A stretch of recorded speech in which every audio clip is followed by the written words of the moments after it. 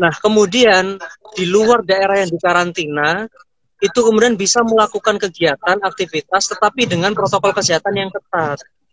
Nah, maka saya kemudian berpikiran protokol kesehatan yang ketat ini harus disiplinnya lintas sektor. Jangan lagi terus kemudian nanti pemerintah kejar-kejaran sama masyarakat. Kesannya nggak baik. Tapi kalau bisa pemerintah, masyarakat, terus kemudian pelaku uh, industrinya ini bisa punya kesepahaman yang sama. Nah, saya mengusulkan pada malam hari ini setelah masa PPKM eh, yang PPKM mikro yang pertama ini, harapan saya nggak perlu lagi ada PPKM lanjutan lah gitu. Tetapi syaratnya semua masyarakat, semua para pelaku kegiatan ini disiplin menerapkan protokol kesehatan. Maka yang saya usulkan ke teman-teman paguyuban Sorperop ini membuat satu satgas yang namanya Satgas Hajatan. Nah, nah Satgas Hajatan ini nanti eh, yang terdiri dari Satgas ini ya vendor-vendor ini jadi perwakilan dari perwakilan dari artis, perwakilan dari apa namanya perwakilan dari MC, perwakilan dari vendor persewaan terop, dekorasi, wedding organizer ini masuk ke Satgas Hajatan ini. Kemudian setiap hajatan di Kabupaten Trenggalek harus mendapat izin dari Satgas Hajatan dan kedua harus menerapkan protokoler kesehatan sesuai arahan dari Satgas Hajatan. Sehingga nanti kalau ada yang melanggar protokol kesehatan, urusannya nanti tinggal Satgas Kabupaten tinggal memanggil Satgas Hajatan. Ini kenapa kok kemudian apa namanya uh, hajatan ini diselenggarakan tidak secara protokol kesehatan. Jadi harapan saya kemudian tidak ada lagi eh, razia-razia pembubaran dan lain sebagainya, tetapi nanti yang kena apa namanya delik aduan atau delik hukumnya yang bertanggung jawab nanti satgas saja. Dan saya rasa kalau kayak begini, saya yakin nanti semuanya bisa menjaga.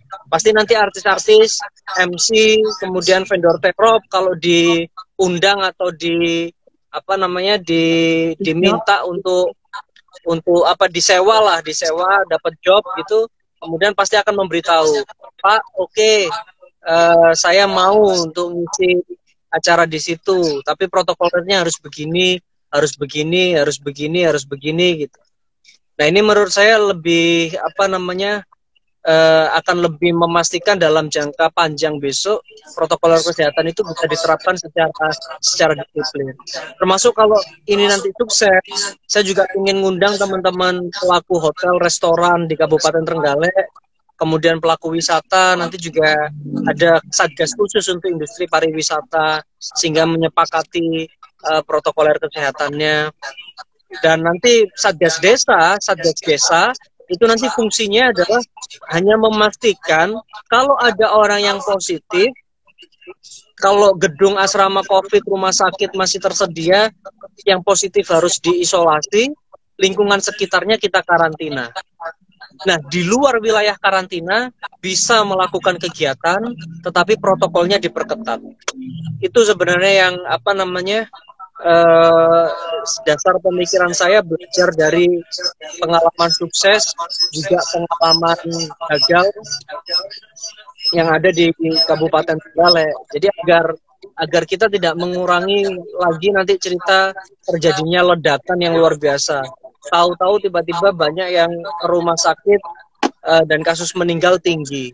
Nah ini yang sebenarnya kita apa namanya kita kita harus apa ya kita harus hindari kita harus belajar dari pengalaman ledakan kasus yang luar biasa dan pemerintah pusat juga sudah melihat setelah pelaksanaan PPKM ini di Kabupaten Trenggalek ini trennya cukup cukup baik.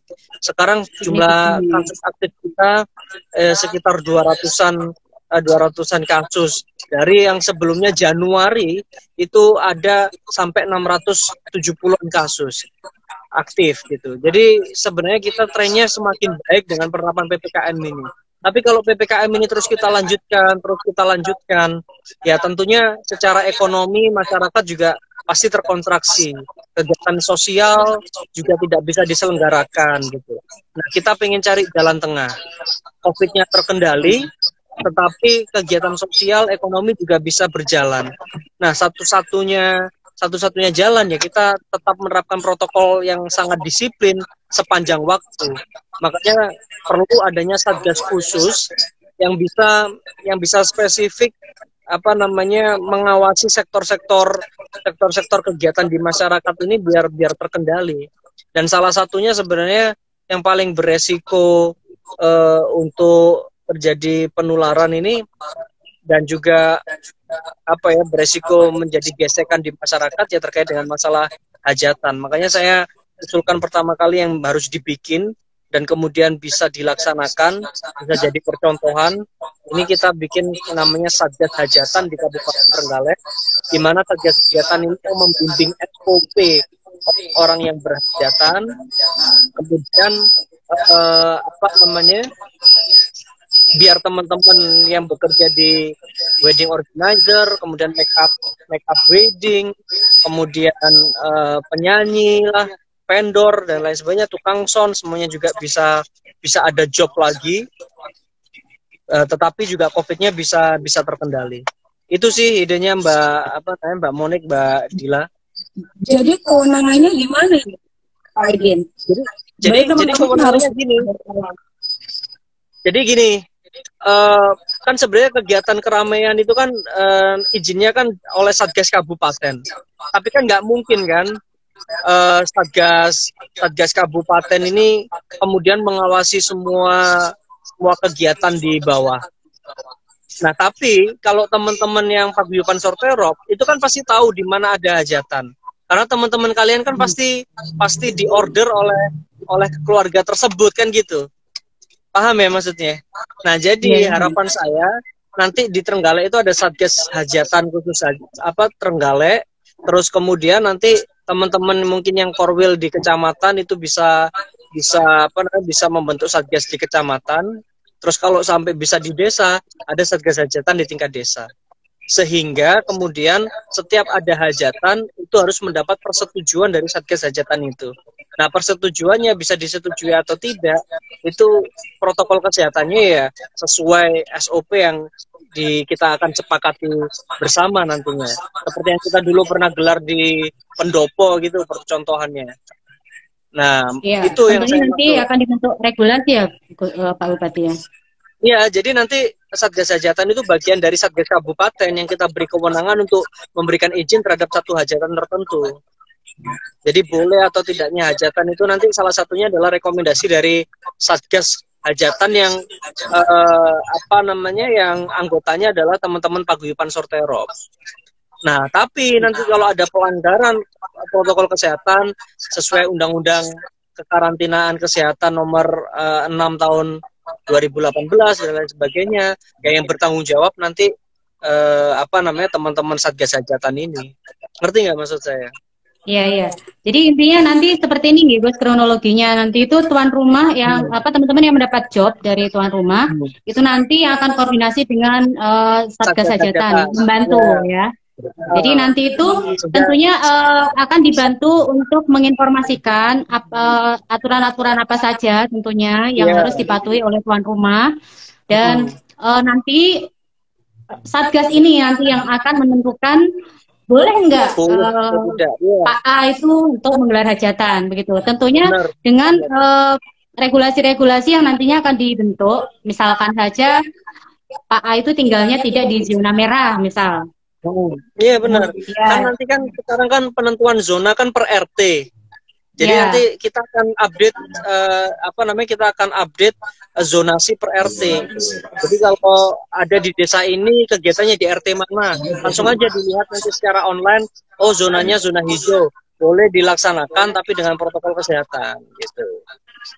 Yeah. Nah, kalau Dan... kalau terus kemudian uh, apa namanya tuan rumah yang bikin acara nanti kita bikinkan fakta integritas gitu ya, bertanda yeah, tangan di materai bahwa siap surat pernyataan siap gitu ya. protokol kesehatan ya, siap.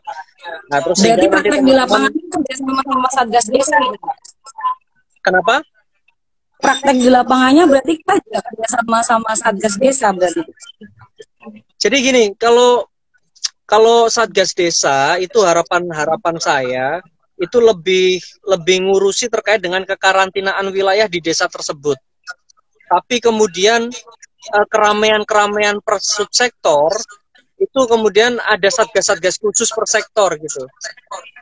Ngerti nggak maksud saya? Jadi kalau hajatan ada khusus satgas hajatan. Kalau nanti teman-teman pariwisata ada satgas khusus pariwisata. Maksud saya ini keterlibatan masyarakat keterlibatan masyarakat itu saya pengen kita gotong royong gitu. Biar nanti nggak ada kesan pemerintah desa pemerintah kabupaten. Itu cuma obrak-obrak orang yang punya hajatan cuma nutap-nutup begitu. Maksud saya ya uh, kita ini apa ya kita ini setara lah dalam dalam dalam penanganan covid ini kita kerjanya sama-sama. Jadi kayak nanti uh, apa namanya teman-teman yang punya restoran itu juga bikin aja apa satgas khusus apa namanya restoran dan lain sebagainya. Sehingga nanti yang memberikan apa ya yang memberikan edukasi kemudian yang menegakkan protokol itu ya antar mereka sendiri. Ayolah patuhi protokol. Kalau podo-podo nggak protokolnya nanti kita semua ini diterapkan lagi jam malam lah terus kemudian nanti ada pembubaran lagi nanti yang rugi juga kita sendiri. Jadi ada saling mengingatkan. Nah nanti sama kayak Mbak Dila sesama MC ayo lah MC gak popo lah. E, masih dandan ayu ayu terus ketutupan masker tetap pakai masker lah gitu. Ayolah bawa apa bawa micnya sendiri sendiri gitu. Nanti kalau nggak begini nanti pada kita perai tanggapan meneh rongulan kan. Eh, terus kemudian teman-teman yang videografer dan lain sebagainya itu kan ada saling mengingatkan. Kalau dibentuk satgasnya itu dari panjenengan-panjenengan sendiri harapan saya itu muncul kesadaran bukan paksaan. Itu yang yang saya maksud. Karena kalau dalam jangka panjang terus kita harus operasi justisi terus kita keliling terus satu pemerintah pasti nggak sanggup. Kemudian kedua bisa dipastikan kalau tidak berangkatnya dari kesadaran, mungkin ledakan kasus COVID juga bisa tinggi lagi. Akhirnya kayak sekarang, saya sudah merencanakan untuk memperbaiki jalan, untuk membangun jalan, untuk yang lain-lain. Akhirnya harus terpaksa untuk melakukan refocusing lagi. Duit yang harusnya bisa untuk bangun jalan, untuk dan apa apa menaik jembatan, harusnya harus tertarik lagi untuk penanganan COVID untuk menyiapkan ruang isolasi lagi, untuk menyiapkan apa namanya untuk menyiapkan tambahan obat, untuk merekrut lagi petugas kesehatan. Nah ini kan ini kan nggak nggak gampang. Untuk masyarakat pun juga rugi ya. Nah maka itu maksud saya, saya ingin muncul kesadaran dari pelaku uh, industri atau sektor-sektor tertentu uh, yang ikut menjadi dutanya pemerintah untuk memastikan protokol kesehatan itu terjadi di segala lini. Nah, saya ingin memulainya dari uh, apa namanya dari dari apa aktivitas uh, sosial yang namanya hajatan ini. Pak, jadi Satgas Hajatan ini kan terdiri dari teman-teman soterap semuanya, mewakili masing-masing, yeah. baik dari yeah. MC atau dari PSJT itu. Nah, uh, maksud saya Pak, dengan nanti mungkin terbentuknya Satgas itu, berarti insya Allah hajatan akan diberikan izin ya Pak, untuk kita bisa kembali beraktivitas.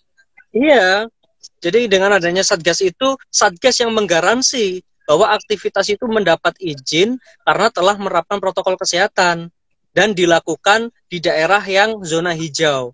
Jadi nanti akan saya share. Saya share RT. Ini per RT bahkan. Jadi RT yang zona hijau mana? Jadi nanti diperbolehkan hajatan di RT yang zona hijau, kemudian dengan melaksanakan protokol kesehatan. Itu.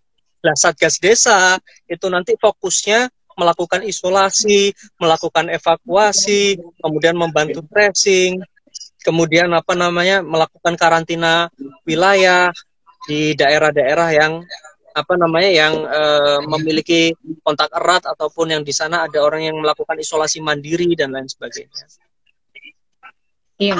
Ini dari pertanyaan yang masuk ini Pak Bupati banyak hmm. sekali yang menanyakan uh, tentunya Satgas Hajatan ini kan beda ya dengan Satgas Covid yang sudah dibentuk oleh pemerintah. Ya, tadi seperti yang sudah dijelaskan Pak Bupati bahwa Satgas Desa utamanya nanti itu sudah tidak berperan atau tidak punya wewenang untuk ngasih izin begitu ya. Jadi semua masalah perizinan dan aturan-aturan main dalam hajatan itu semuanya nanti itu sudah diatur atau dikelola oleh Satgas Hajatan itu sendiri ya. Ya, jadi uh, dari sisi kewilayahan nanti Satgas Desa itu sebagai supervisi. Betul tidak kegiatan yang sudah mendapatkan izin dari Satgas Hajatan itu ya, itu sudah sesuai protokol. Itu aja. Ya, ya tapi yang memberikan rekomendasi izin kita percayakan tanggung jawabnya kepada Satgas Hajatan ini. Tetapi ini bukan berarti terus kemudian pelonggaran uh, terhadap protokol atau kemudian bebas sebebas-bebasnya. Ingat tetap ada konsekuensi. Nanti Satgas Hajatan pun bersama Satgas Kabupaten dan Satgas Desa kita harus bikin MOU. Nanti uh, disaksikan juga oleh Forkopimda bahwa ketika nanti Satgas Hajatan ini memberikan izin atau tetap memaksa menggelar kegiatan tetapi melanggar protokol, ya harus ada konsekuensi yang harus ditanggung.